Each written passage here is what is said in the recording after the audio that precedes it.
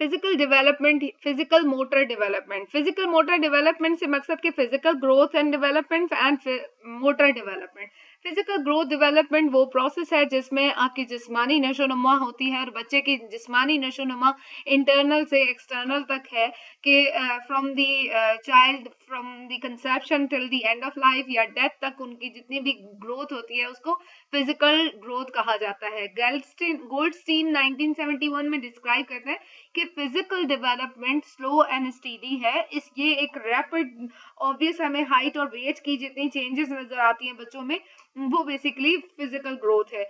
वो टाइम के साथ चेंज होती है, उनके कुछ फैक्टर्स हैं जिसकी जो कि हमें नज़र आते हैं, जिसकी वेरिएशन से हमें नज़र आती है कि ग्रोथ है डेवलपमेंट है ग्रोथ में फ़िज़िकल जो ग्रोथ है, उसकी जो डेवलपमेंट हो रही है।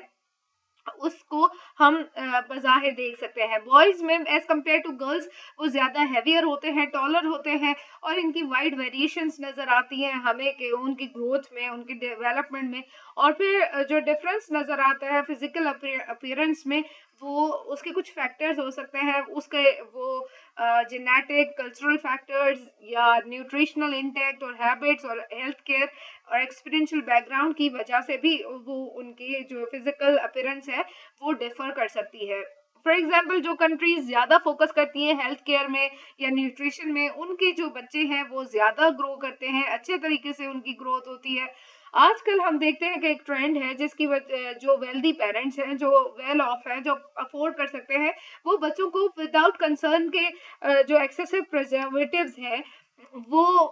फ़ूड ला के देते हैं और वो कहते हैं कि ये क्योंकि वो वेल ऑफ़ है और वो उनके पास वेल्थ है तो उसको यूज़ करते हुए कुछ भी लेकर बच्चों को खिला दिया। फास्ट फ़ूड के नाम पे प्रिजर्वेटिव्स इतने ज़्यादा हैं कि जो उनके हेल्थ को इशू हेल्थ इश्यूज़ बहुत ज़्यादा इंक्रीज होते हैं, जिसमें बच्चे जब वो कंज्यूम करते हैं तो बच्चों की एंगर बच्चों में डिस्टर्ब डिस्टर्बेंस क्रिएट होती है। बच्चे प्रॉपर तरीके से ग्रो नहीं कर पाते। उनकी फ़िज़िकल अगर ग्रोथ हो भी रही होती है तो वो उतनी स्ट्रांग नहीं होती। देन जो फैक्टर इफ़ेक्ट करता है बच्चों की चाइल्ड ग्रोथ में दैट इज़ इमोशनल स्ट्रेस जितना बच्चा इमोशनल स्ट्रेस में होता है, उतना ज़्यादा वो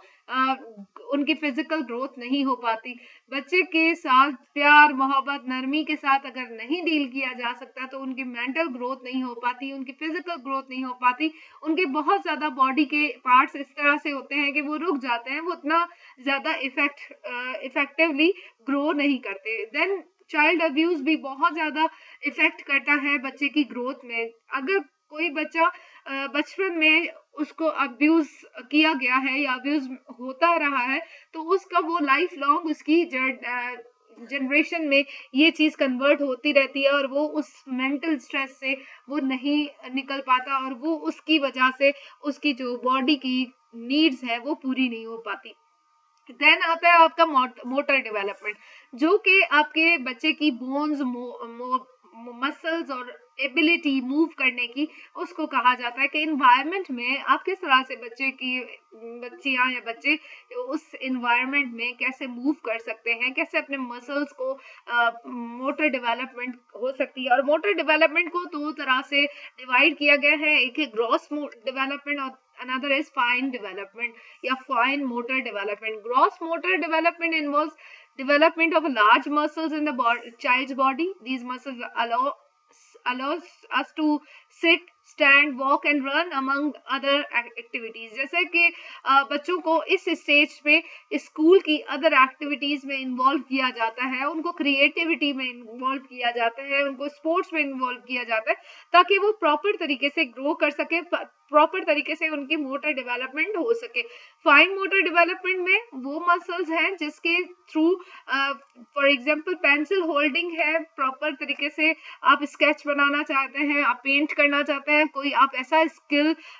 वोकेशनल काम करना चाहते हैं जिसके लिए आपकी बॉडी के कुछ मसल्स को उस तरह से मूव होना चाहिए ताकि वो जो आपका एम है वो अचीव हो सके। That is your motor development child की जो मोटर डेवलपमेंट है वो वेरिएट वेरिएट करती है with the time of age के साथ मंथ्स के साथ कि एक साल से दो साल का जो बच्चा है वो प्रॉपर तरीके से किसी भी चीज़ को होल्ड कर सकता है। देन होल्ड uh, करने के बाद दो से तीन साल का जो तो, तीन महीने का बच्चा है वो अपने uh, उसकी जो ग्रोथ होती है उसकी चेस्ट में उसकी आर्म्स में ग्रोथ होती है। वो उसके बाद ग्रेजुअली वो बैठता है और क्रॉल करना क्रॉल करने के बाद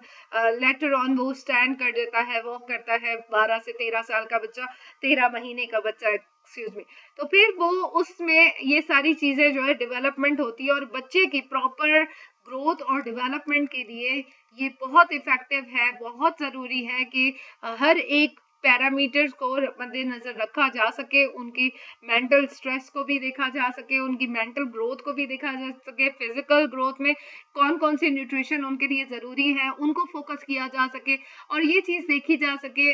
जाए कि बेसिकली जो हम मार्केट्स में इतनी ज़्यादा चीज़ें अवेलेबल हैं। हर एक चीज़ क्या हमारे बच्चों की ग्रोथ के लिए बेहतर है या नहीं विदाउट कंसर्निंग वो कोई इफ़ेक्ट करती है। उससे ये होता है कि अगर आपके बच्चे की फ़िज़िकल मोटर डेवलपमेंट होती है तो वो अच्छे तरीके से परफॉर्म कर सकता है। उसकी जो इंस्ट्रक्शनल जो एबिलिटीज़ है, जो लर्निंग है, वो ज़्यादा होती है। वो बच्चे प्रॉपर तरीके से हर मैदान में आगे निकल जाते हैं।